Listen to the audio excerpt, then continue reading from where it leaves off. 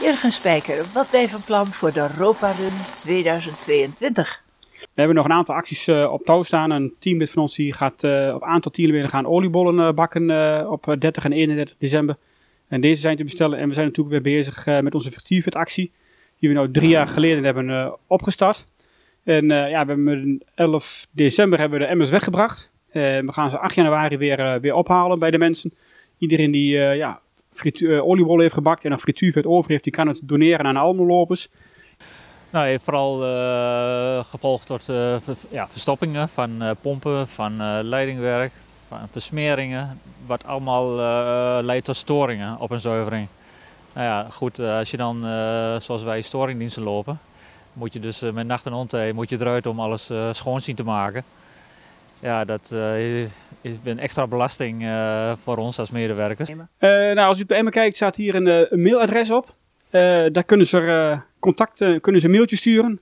Dan zullen we netjes een reactie teruggeven. En dan ja, zal een van mijn teamleden die bij ons in de, de werkgroep zit van het frituurvet, die zal een emmer langs komen brengen. En dan het verzoek om ze er op 8 januari weer om 9 uur bij de deur neer te zetten en halen we ze op. we proberen ons wel te beperken tot, tot Almelo. onze teamcaptain die komt uit, uit Aardorp en daar hebben we nou wel maandelijks een inzamelingsactie. Dat we daar ook frituurvet inzamelen. En ik heb zelf ook een paar adresjes wel in Wieren die ik die mij benaderen, niet indelen of eh, ze brengen het bij aan huis. Dus, eh, maar hoofdzakelijk is het wel eh, dat we ons beperken tot Almelo.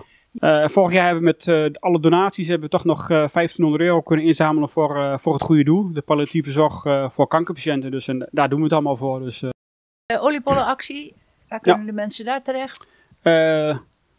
bij uh, mijn collega, uh, teamlid uh, Marion Besselink. als de corona, coronaregels alles toelaat, dan zal er waarschijnlijk in april, mei ook nog een collector huis aan huis komen.